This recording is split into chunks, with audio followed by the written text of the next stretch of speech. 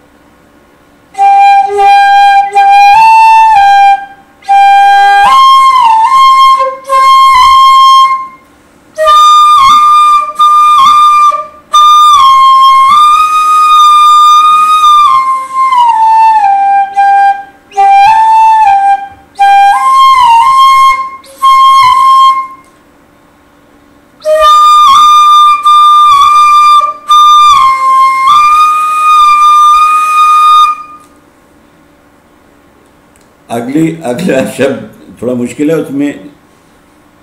पा का उपयोग होता है और पा जो है बहुत मुश्किल होता है इसे बजाना तो that is what for today thank you